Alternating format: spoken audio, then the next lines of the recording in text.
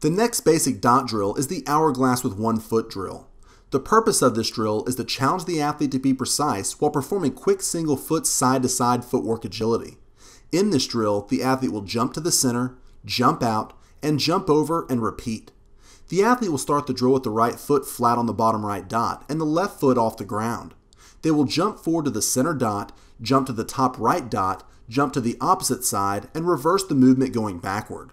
They will repeat the movement over and over in the allotted time, making sure to hit each dot. The athlete should start the movement by shifting their weight towards the center dot and push off with the right foot.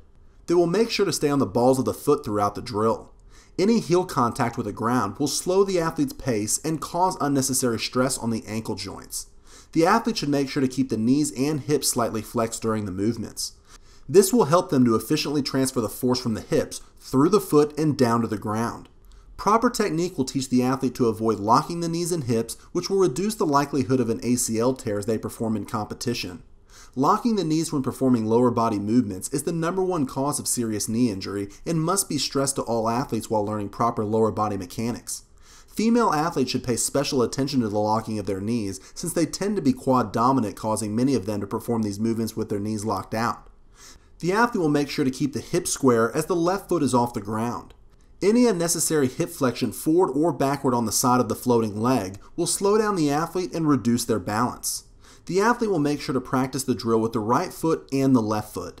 The hourglass with one foot drill is the second and third skill component in the dot test and should be mastered before moving on to more difficult movements. Remember, the basic dot drills specifically teach proper footwork, body positioning, landing, and cutting mechanics. Any athlete that competes in a sport that requires them to move on their feet should implement the dot matrix into their training. Dot drills are designed to improve quickness, agility, balance, coordination, as well as ankle, knee, and hip strength. Most coaches give an athlete 30 seconds to get as many reps in as possible before switching partners or utilizing a 30 second rest period. Being accurate at a controlled speed inevitably produces a better score since the dot test penalizes the athlete by adding a second to their time for each dot that is missed. An athlete should see a micro progression in how many revolutions they successfully perform and the number of missed dots in the 30 second interval as they continue to practice the drill.